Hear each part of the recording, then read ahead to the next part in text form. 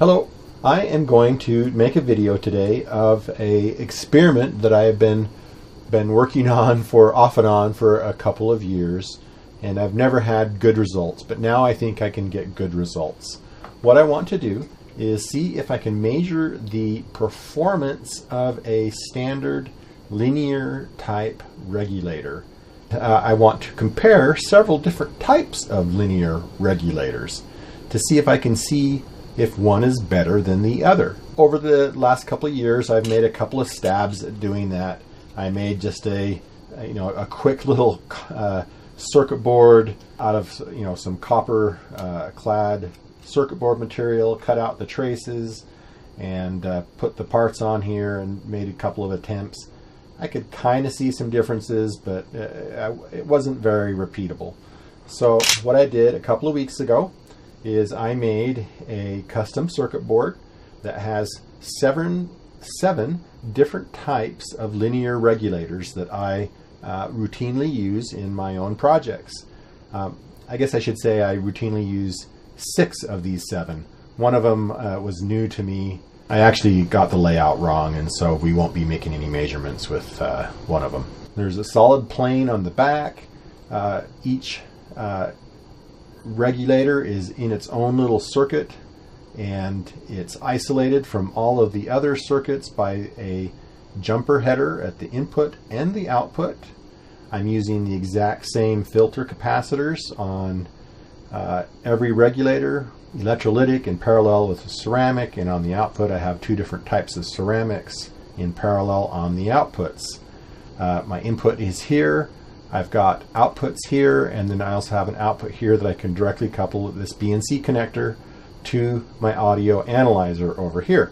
I also have a load here, and I right now have this set up as a small load of about 100 milliamp. I can take this output straight into my audio analyzer because the audio analyzer is capacitively coupled, and so it's just going to measure the AC component, or the noise, coming out of these regulators.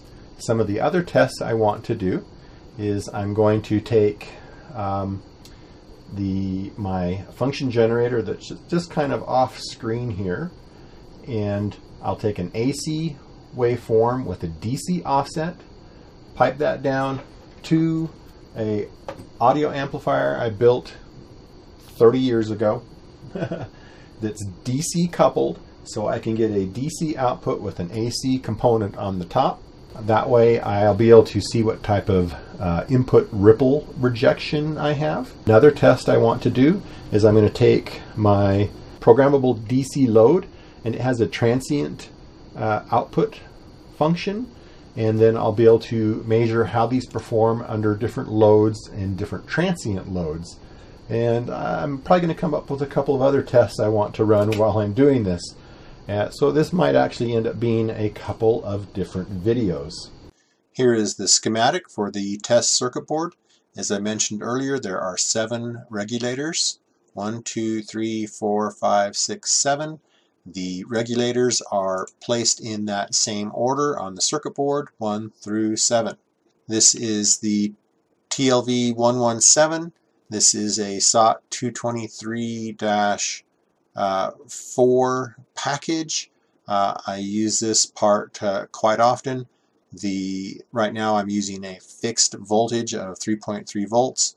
Uh, all of the regulators uh, on this design are set at either 3.3 or 5 volts. This part is the LP2985. This is a low dropout regulator and I often use this when I need to power a small microcontroller small uh, analog devices. I used uh, several parts uh, like this in a headphone design I did just a couple of years ago. The uh, LM317 is next. This is uh, kind of my workhorse part and uh, it's nice because it can take a fairly high voltage. You can see it can take up to 40 volts. Um, I am going to be feeding uh, this circuit board design with uh, 12 volts.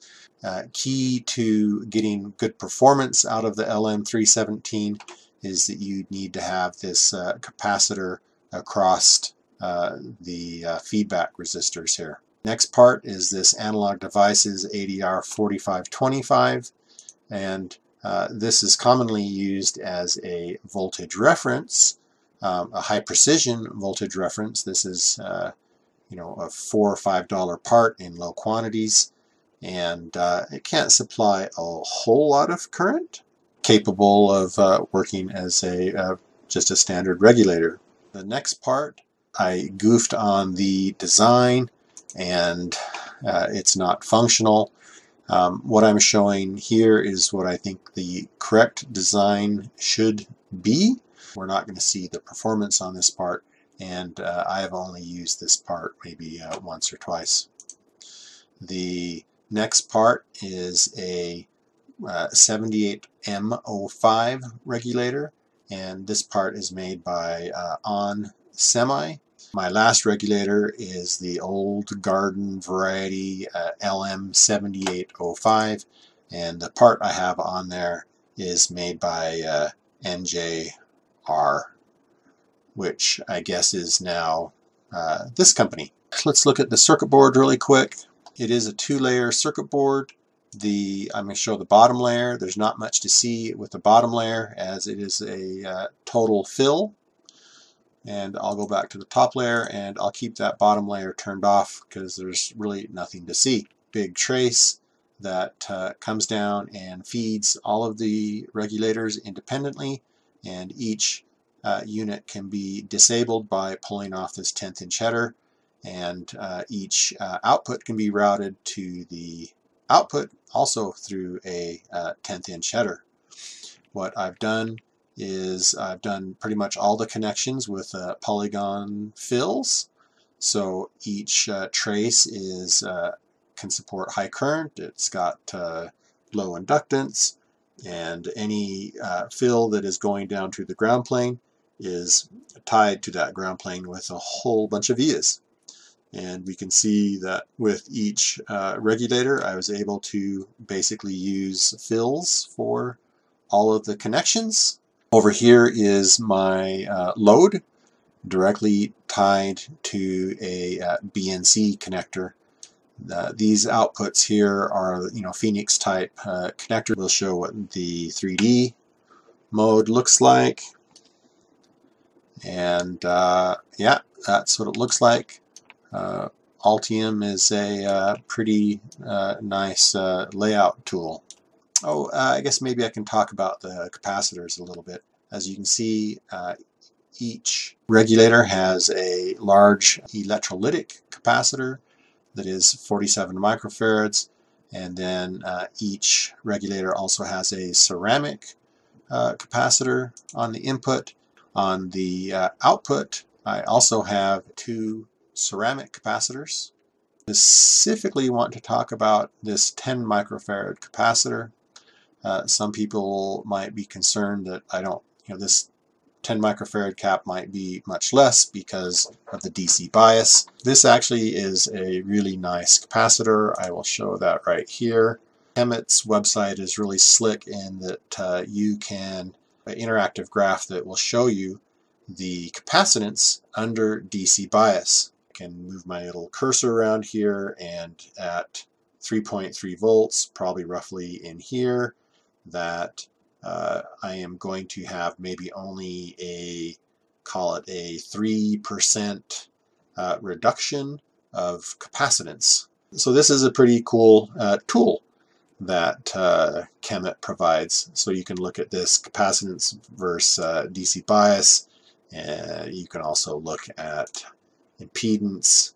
Let's start with some measurements. Let me explain the setup. Uh, as you can see right now, I've got the board powered on and I'm looking at the uh, top regulator, which is the TL-V1117 uh, I am powering with the linear uh, benchtop supply at 9 volts DC. Right now I am using a coax cable up to my uh, Keithley uh, meter and I'm just going to show the uh, voltages uh, on each regulator. I also have, there's an aluminum plate. That aluminum plate goes underneath this whole bench and is uh, earth grounded. This is the TLV1117. Here is the LP2985. Here is the LM317, ADR 4525, 78M05, 7805. I've zoomed in to the display of my uh, audio precision unit. Bandwidth set for 22 hertz to 22 kilohertz right now. So we are roughly measuring uh, 64 microvolts right now with the TLV 117. This is the LP 2985. This is the LM 317. This is the ADR 4525. That's uh, quite a bit lower. Also, a much more expensive part. This is the 78M05. This is the 7805. Um, 7805 uh, appears to be the worst. Let's run this test again but I now have my analyzer set for full range for this unit, which they're basically just saying is less than 10 hertz, greater than 300 kilohertz. Right now, I am on the TLV 1117, and we are seeing roughly, let's call it, up to 70 uh, microvolts. This is the LP2985 let's call that 2223 LM317 oh very interesting. 120 microvolts. ADR 4525 12 microvolts. 78M05 is 52 microvolts 7805 is call it 80-ish microvolts. So that's really interesting. Smaller bandwidth, the LM317, uh, performed quite well, but at the uh, higher bandwidth, uh, it was uh, roughly four times as worse. The TL 117 was uh, similar. So I'll compile these into a spreadsheet and I'll show them. Here's the results seven regulators in this column, this column right here. And I've got the first results of the noise looking at with a bandwidth of 22 hertz to 22 kilohertz. And as we can see, the uh, there is quite the range, about a 7 to 1 range.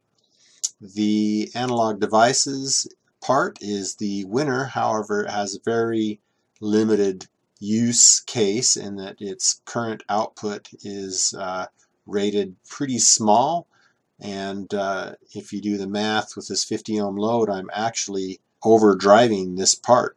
The normal regulators, the winner is this LP2985. Um, it uh, has very low noise and does not have much of an increase from uh, going from the uh, smaller bandwidth to the larger bandwidth. The surprising uh, regulator was the LM317 um, who had pretty low noise at the lower bandwidth but at the higher bandwidth uh, it had a quadrupling of the noise. I'll have to do a little bit more investigation. So as I mentioned earlier, I'm going to expand on this uh, spreadsheet here. I will do some uh, ripple rejection, some other noise tests, and um, we'll see what those results are. Anyways, that's about it for now. Thanks.